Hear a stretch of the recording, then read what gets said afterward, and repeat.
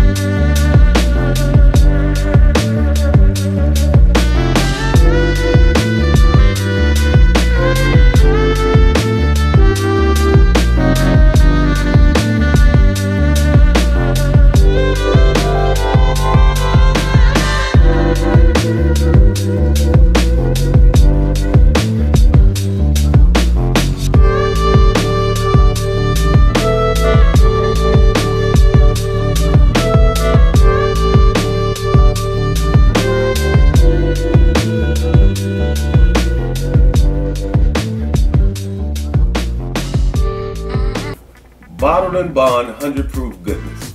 When I first came across Colonel E.H. Taylor, um, I stood in line. There was an ABC store drop. Most guys stood in line overnight, hoping to get their hands on uh, George T. Stagg 2020 or Weller Full Proof. I had a chance to get my hands on Weller Proof. Had a chance to get my hands on Old Forester 150th anniversary.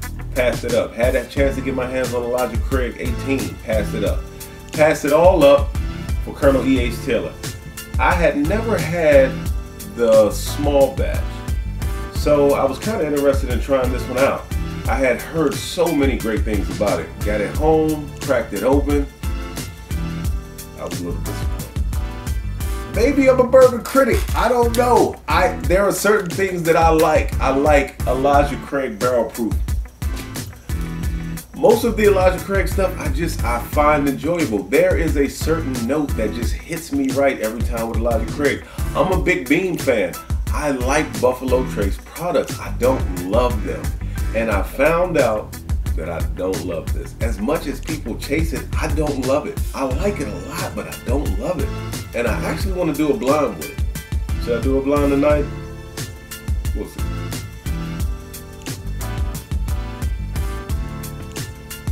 Good nose. The nose is good already. Buffalo Trace just gives you cherry in the nose all the time, man. It's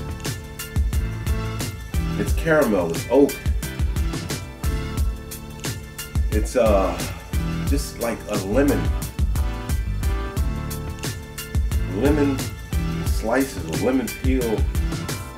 It's citr- it's a very it's it's it's citrusy. It's everything you would think a lemon would be. It's lime. It's got like lime, citrus, all some just citrus, very citrusy.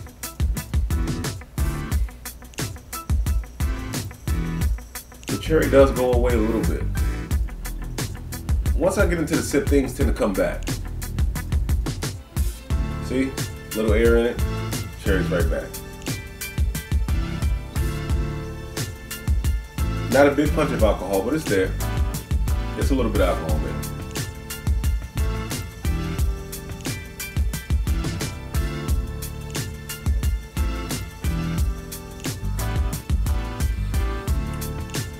It's honey, it's tea, it's lemon. It's bottled in bond, so it's at least four years old, but it tastes older than that. It tastes like like old oak. See, this is the lemon that I get sometimes, and it's a this is lighter.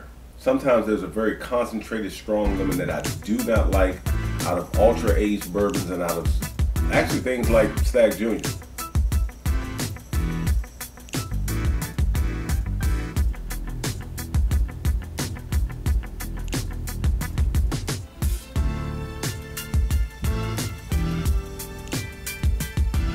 Tea, honey, spice, everything nice.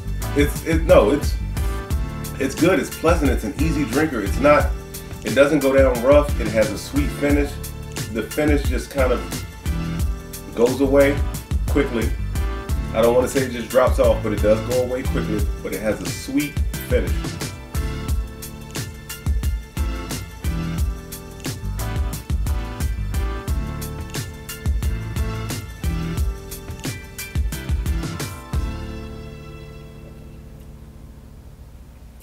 I like it.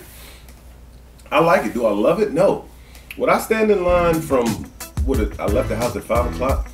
Would I stand in line from five o'clock in the morning until ten o'clock in the morning again for it? No.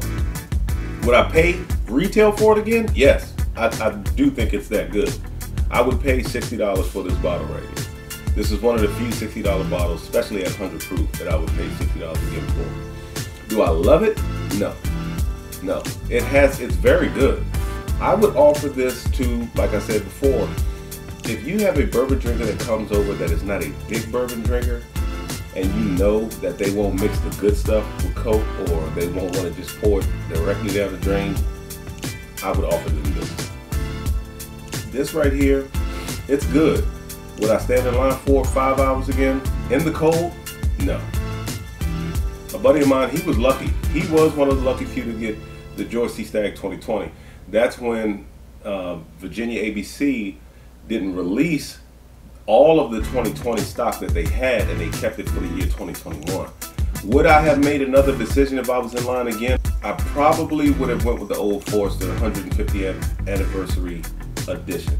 And the reason why I didn't go with that is because I started reading reviews online, and the reviews online said that it had hints of dill and I do not like a dill note. I do not like a dill note in my bourbon. I love pickles. I love pickles. I'll eat them all day. I'll eat them on sandwiches. I'll eat them by themselves. I do not like that note in my bourbon. It just doesn't sit well with me.